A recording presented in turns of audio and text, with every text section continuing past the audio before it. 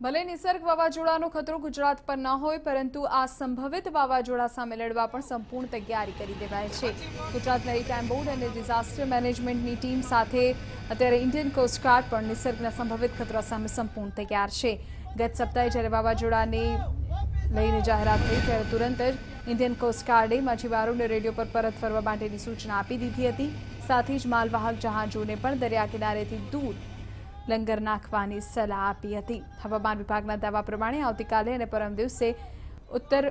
મહારાષ્ટ્ર દક્ષિણ ગુજરાત અને દમણના દરિયાકાંઠેથી નિસર્ગ વાવાઝોડું પસાર થવાની શક્યતા છે અને આ સમયે સો કિલોમીટર પ્રતિ કલાકની ઝડપથી પવન ફૂંકાઈ શકે છે તેવામાં ઇન્ડિયન કોસ્ટગાર્ડે દરિયાકાંઠે વસવાટ કરતા લોકોને સાવચેત રહેવાની સલાહ આપી છે સાથે જ વાવાઝોડાની કોઈ પણ સ્થિતિને પહોંચી વળવા માટે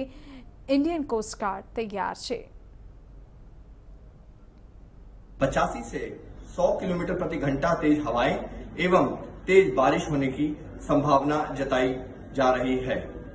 ऐसे में तट से समीप रहवासियों को सतर्क रहने की खास ज़रूरत है।